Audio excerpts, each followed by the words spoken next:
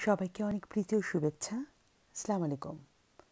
আশা করি যে যেখানে আছেন, ভালো আছেন, সুস্থ আছেন, পরিবারের সাথে আছেন এবং নিরাপদেই আছেন। আমি লিপিকা, জার্মানি থেকে।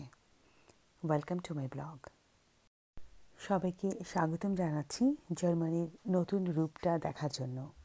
জি, ঠিকই শুনেছেন। জার্মানি সেজেছে এখন নতুন রূপে। এখন যেন আগে সেই চিরচেনা রূপটা ফিরে পেতে শুরু করেছে জার্মানি।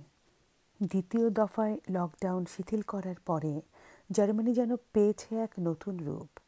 এতদিন যে বিধিনিষেধের ভেতরে আমরা সবাই ছিলাম, আটকে ছিল পুরো জার্মানি।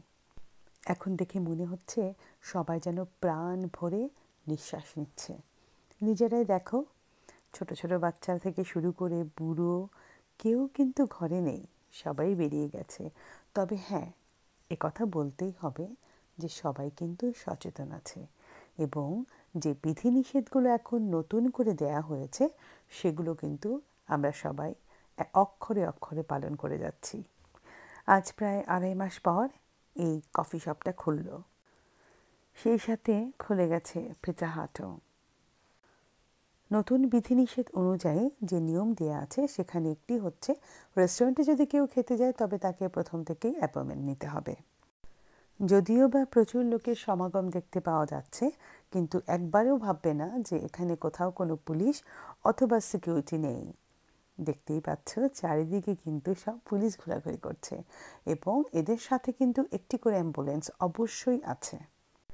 যে কেউ পথচারী থেকে শুরু করে ক্রেতা, বিক্রেতা যে কেউ এতটুকু অসুস্থতা ফিল যদি করে, তাহলে সাথে সাথেই পুলিশকে কল করা হয় এবং সেই জন্যই অ্যাম্বুলেন্স সবসময় সর্বদা অ্যাক্টিভ থাকে, যেন সাথে সাথে হেল্পটা তারা করতে পারে।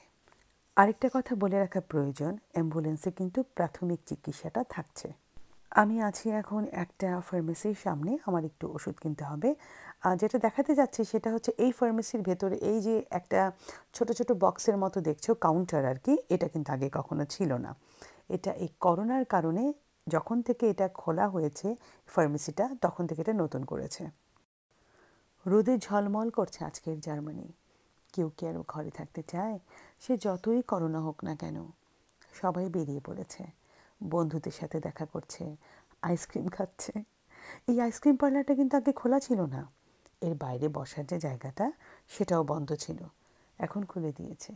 এবং অপোজিটে এই যে ছোট ছোট দোকানগুলো, এগুলো সব কিছু বন্ধ ছিল। খুলে দিয়েছে কিন্তু একটা নির্দিষ্ট নিয়মাবলীর সাথে। একজনের থেকে আরেকজনের দেড় মিটারের দূরত্ব, তারপর হচ্ছে হ্যান্ড গ্লাভস এবং মাস্কের ব্যবহার তো অত্যাবশ্যক। মাস্ক না পরে ঢুকলেই কিন্তু জরিমানা। শুরুতে বলেছিলাম কিনা ঠিক মনে পড়ছে না। মাস্কের ব্যবহার কিন্তু এখন আমাদের শুধুমাত্র শপিং মলগুলোতে ঢুকলেই। রাস্তায় চলাফেরা করার ক্ষেত্রে মাস্কের ব্যবহারটা তেমন একটা গুরুত্বপূর্ণ না। আর মাস্ক অবশ্যই পরতে হবে পাবলিক ট্রান্সপোর্টে। আমি দাঁড়িয়ে আছি এখন প্রাইমার্কের সামনে। এতদিন এটা বন্ধ ছিল এবং এখন এটা খুলে দিয়েছে।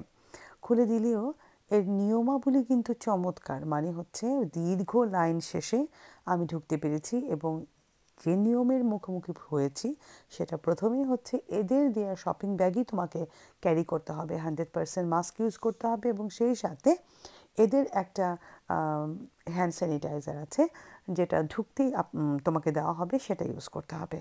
আর এই মল কিন্তু বিশাল বড়। এত বড় থাকার পরেও কিন্তু লোকজনের আনাগোনাটা তেমন একটা না। এবং এই গোল গোল পয়েন্টগুলো দেখতেই পাচ্ছ যে কে কোথায় দাঁড়াবে সেটা নির্দিষ্ট করে দেওয়া আছে। বের হয়ে আমি যেটা করেছি সেটা হচ্ছে আমার নিজস্ব যে স্যানিটাইজার সেটা ইউজ করে ফেলেছি। আর জারার লাইন দেখো, এটা হচ্ছে জারার লাইন শুধুমাত্র যদি বাঙালিকে দোষ দিই তাহলে কি হবে? আসলে শপিং পাগল সব জায়গায় আছে, সব দেশে আছে। পার্থক্যটা শুধু এতটুকুই যে এরা নিয়ম মানে আর আমরা নিয়ম মানতে চাই না। এরা বুঝেছে এদের সচেতনতা শুধুমাত্র এদের নিজেদের হাতে।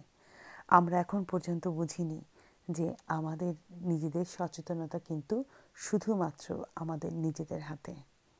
বাঁচতে চাইলে সচেতন হতেই হবে, এছাড়া আর কোনো উপায় নেই। তুমি সচেতন হলে তোমার পরিবার সচেতন হবে। তোমার পরিবার সচেতন হলে তোমার প্রতিবেশীও সচেতন হবে। নিজে বাঁচো, অন্যকে বাঁচাও। আমার জন্য, আমার পরিবারের জন্য দোয়া করবে। তোমাদের জন্য রইল অফুরন্ত ভালোবাসা। অনেক অনেক দোয়া। সচেতন থেকো, ভালো থেকো, নিরাপদে থেকো। আবার দেখা হবে অন্য ব্লগে